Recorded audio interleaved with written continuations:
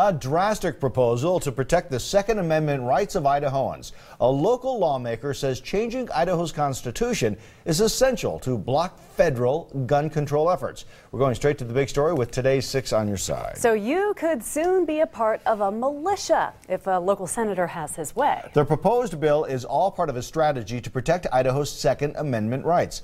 Mike Sharp has more from inside the State House. That's right. A state senator wants to change Idaho's constitution. He says it will strengthen the state's ability to fight federal gun restrictions that could be on their way in the near future.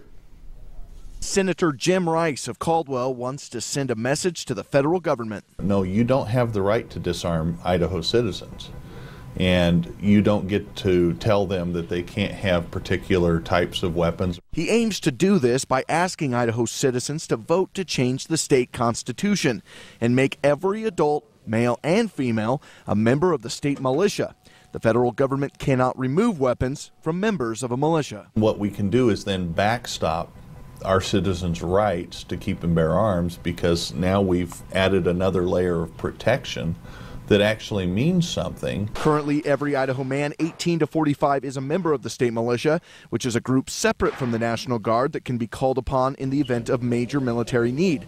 But this change would take away age and gender requirements. The question lawmakers will face is whether or not this bill will stand up to a federal challenge. If it makes effectively clear that uh, a woman in Idaho has the right to keep and bear arms, or a person who's 46 or older has the right to keep and bear arms, then it theoretically does serve a national and proper local purpose in our state. Former Attorney General David Leroy tells me not only would the amendment hold up against federal challenges, he thinks it's a needed update. Sometimes modernizations that take out sex uh, discriminations and age discriminations are an important part of modern life in keeping a constitution tuned up.